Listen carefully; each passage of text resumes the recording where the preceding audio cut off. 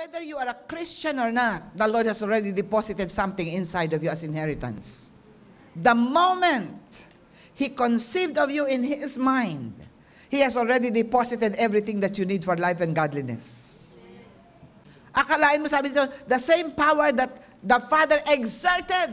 Can you imagine God exerting effort? When did He exert effort? It was during the time that He raised Jesus from the dead. Oh, lahat na yon todo-todo. Ibinigay ang lahat ng kapangyarihan to raise Jesus from the dead.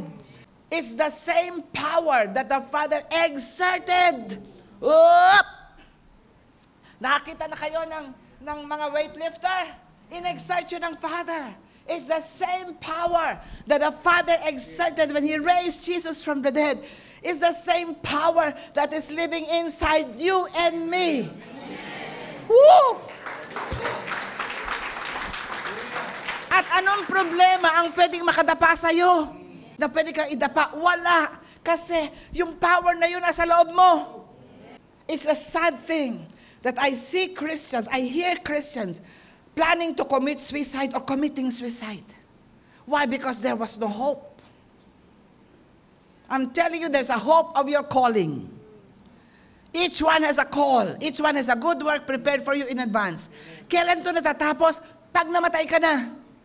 Hanggat di ka namamatay, hindi pa tapos ang assignment. There is no retirement in God. That's why you're saying, I'm 71, I'm not retiring, I am just refiring. Hello! Bakit makakita ko ng Kristiyano? Kahit man lang mag-amen sa preaching, hindi kumikindat-kindat lang. Sabi ko, sayang yung power na nasa loob mo. Hello, we should be noisy in the church responding to the preaching.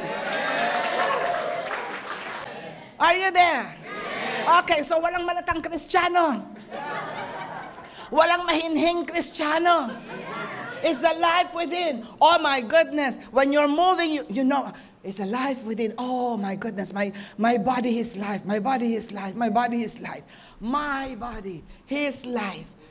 Okay, pag itong body na ito mahina, there's a life that is malakas. Okay? Okay. Ano nagpapagising sa'yo sa umaga? Nescafe ba?